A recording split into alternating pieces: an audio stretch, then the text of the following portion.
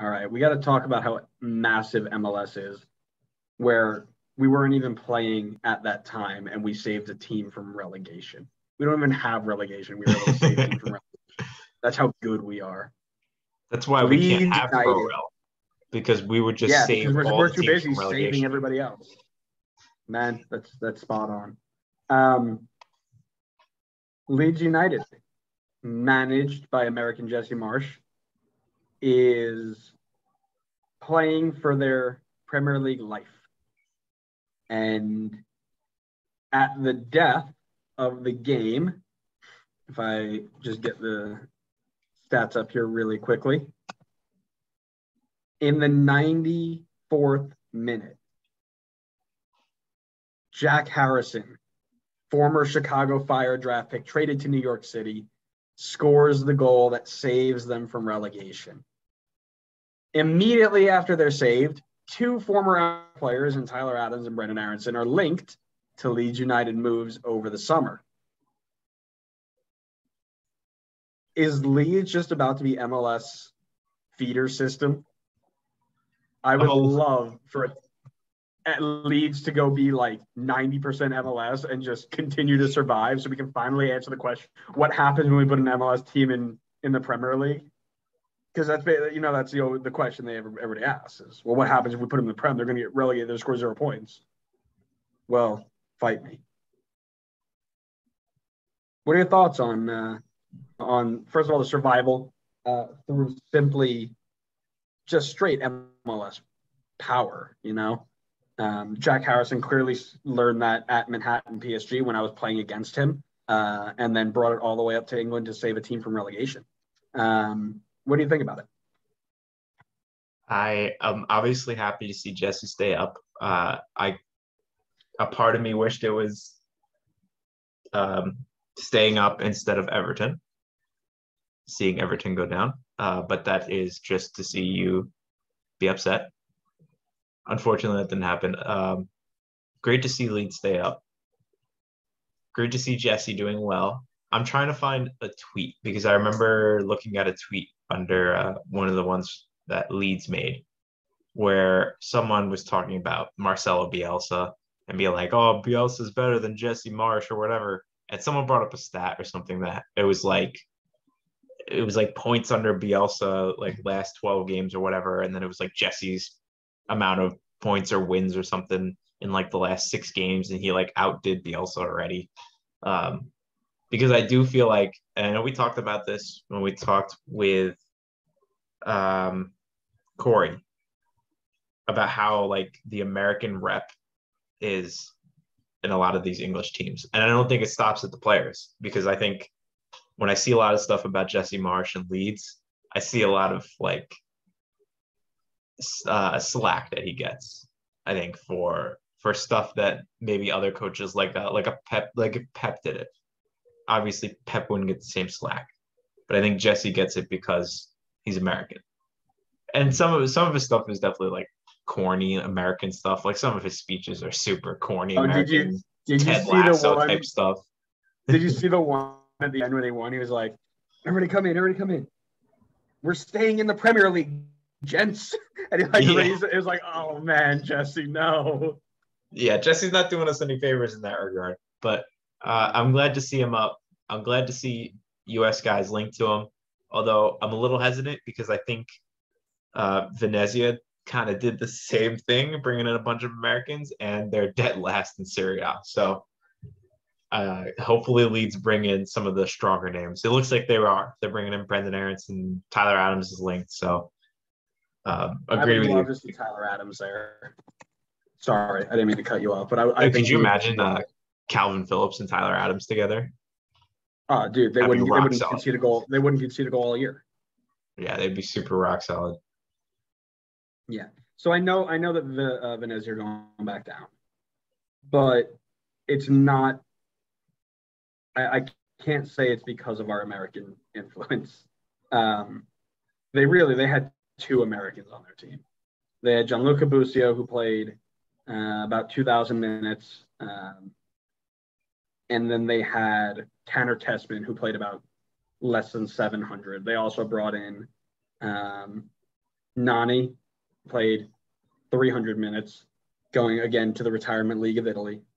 Um, and then they brought in what's his face, the uh, the youth player uh, de Vries, Jack de Vries from uh, from Philly, and he didn't even yeah. make an appearance. So um, can't really say that it failed that way.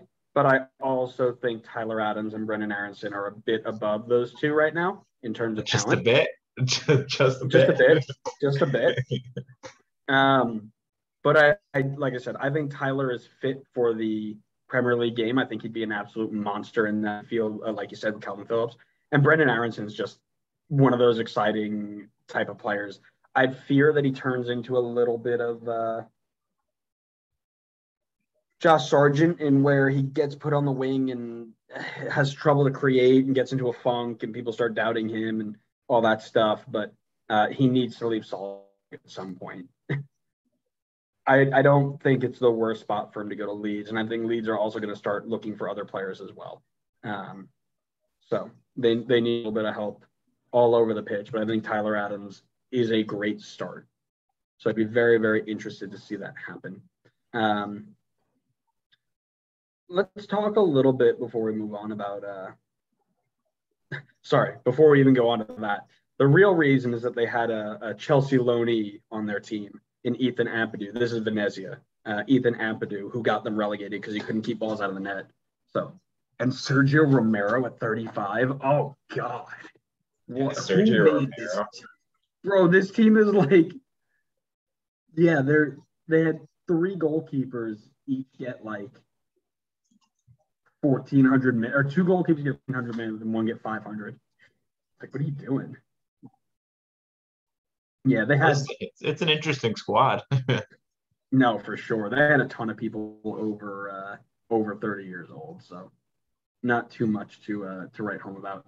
Um, anyways, MLS's influence overseas. I know we've talked about it a little bit. You've seen some success, some failures.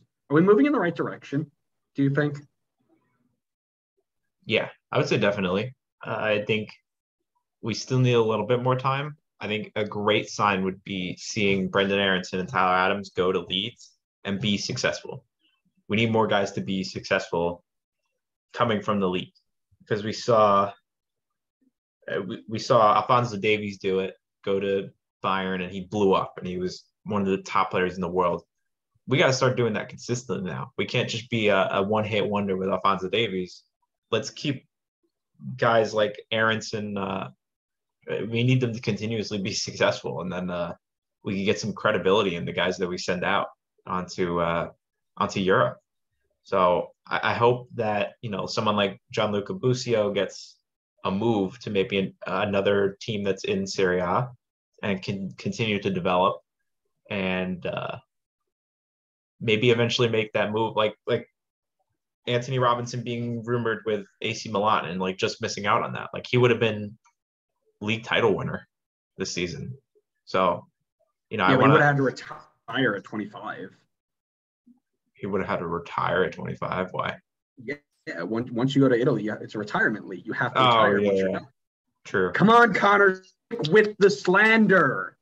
Gosh, it's not that. I hard. apologize. I'm sorry. No, don't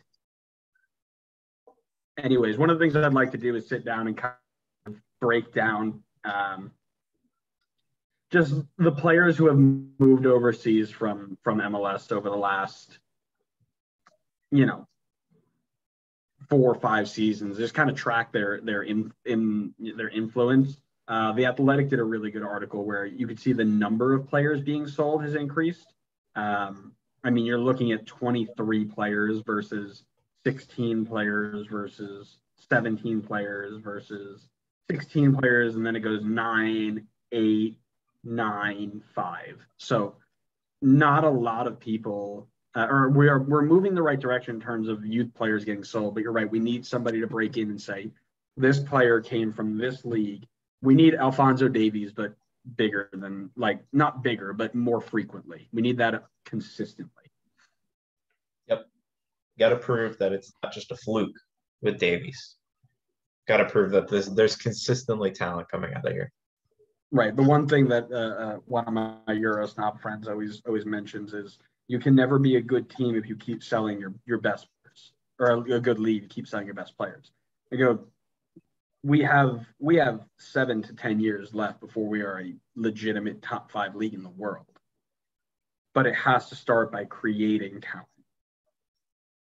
And then I tried to explain to him salary caps and why we do all this stuff, and he didn't. It, it's going to take a few more lessons with him before he's on board. But um, there's a whole bunch that goes into that. Um, but I think, yeah, I would agree. We're moving in the right direction. We're selling more people. They now need to make an impact, right? Uh, the, the list that I have here, you've got Yeferson Soteldo at Tigres. Haven't heard anything about him. Erik Sorga, haven't heard anything about him. Ignacio Aliseda, I think he's got a few goals for Lugano. Theo Bair to Johnstone. Diego Valeri to Lanús, and then we get the big ones. Richie Laryea to Nottingham Forest hasn't broken in yet. George Bellador Bay, uh, Bay, Bayfield um, hasn't really broken through that either. Aaron Auston Trusty hasn't gotten to Arsenal yet, but he'll get there. Uh, Nicholas Figal, Duboka Jr., I know he's been playing there. Atuesta to Palmeiras, haven't heard much about him. Riley McGree from Charlotte to Middlesbrough before he even stepped foot in the country. Love that they include that there. Matt Turner, Matt Turner to Arsenal hasn't gotten there yet. Tajon to Club Bruges did score a goal there, so he's starting to impress. Kevin Paredes hasn't broken through at Wolf, Wolfsburg. Daryl Dike kind of going cold at Bromwich, and uh, Pepi going cold at Augsburg. Need somebody to go from our league and blow up. Now, I, I and Brenden Aaronson closest to it. Tyler Adams has done well, but Brenden Aaronson, I think, is the closest player to say, I'm going to go to a massive league and be an absolute menace. Yeah, this is the a great opportunity here at Leeds.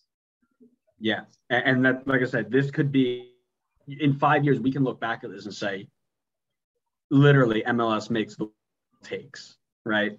I know we joke about that a lot, but that could be a massive thing here, right? If Jesse Marsch some of the best MLS players in the world and, and makes Leeds legit, and then the one striker that comes out of our, our league and blows him up and turns him into a 20 goal Premier League scorer, that that puts us on the map.